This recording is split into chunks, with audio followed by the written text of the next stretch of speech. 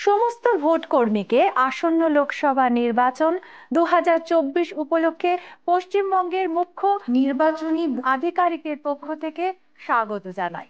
আসুন দেখে নেওয়া যাক ভোট গ্রহণ প্রক্রিয়া সমাপ্ত হয়ে গেলে তারপর কি কি করণীয় থাকে? ভোট শেষ হওয়ার নির্দিষ্ট সময়ে পাঁচ মিনিট আগে বুথের বাইরে গিয়ে ঘোষণা করুন যে যারা ভোট দিতে এসেছেন তারা যেন লাইনে দাঁড়িয়ে পড়ে যদি কমিশন নির্দিষ্ট নির্বাচনের শেষের সময়ের পরেও ভোট তুলতে থাকে, তাহলে এবারে লাইনে এসে দাঁড়ানো ভোটারদের হাতে আগে থেকেই পূরণ করে রাখা স্লিপ বিলি করুন। কিন্তু উল্টো ক্রমে, অর্থাৎ লাইনের শেষের ভোটারকে দেবেন এক নম্বর স্লিপ। এবারে ভোট প্রক্রিয়া ততক্ষণ চলবে যতক্ষণ না ওই এক নম্বর স্লিপধারী ব্যক্তির ভোট দেওয়া হচ্ছে। ভোটারদের থেকে আপনার বিলি করা সমস্ত স্লিপ সংগ্রহ করে ছিঁড়ে ফেলুন যাতে সেগুলি আর ব্যবহার করা না যায়। সবাই ভোট দিয়ে গেলে আনুষ্ঠানিকভাবে ভোটের সমাপ্তি ঘোষণা করুন। পোলিং এজেন্টদের সামনে ক্লোজ বোতামটি টিপুন এবং বোতামের উপর কালো ঢাকনা বা ক্যাপ লাগিয়ে দিন।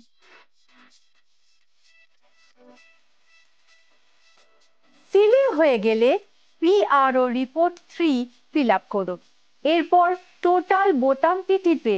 মোট কত ভোট পড়েছে তা দেখে ফর্ম সেভেন্টিন সি পার্ট ওয়ানের আইটেম ফাইভে সেটি লিখে রাখুন।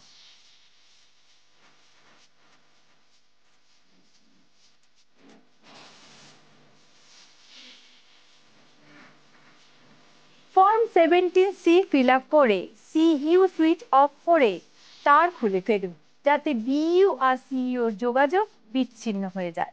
তারপর ফর্ম সেভেন্টিন এর শেষ এন্ট্রির পরে একটি লাইন টানুন এবং লিখুন the serial number of the last entry in form seventeen A is dash এবং তার নিচে সই করুন। এখানে সমস্ত পোলিং এজেন্টরা সই করবে।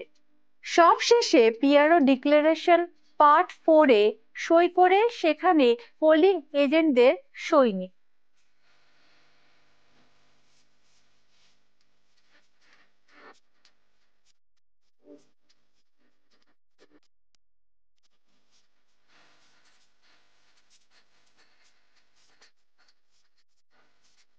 সবকিছু হয়ে যাওয়ার পর আর পিআরওর চেকলিস্ট দেখে আর কোনো কাজ বাকি থাকলে সেটাকে সম্পূর্ণ করুন।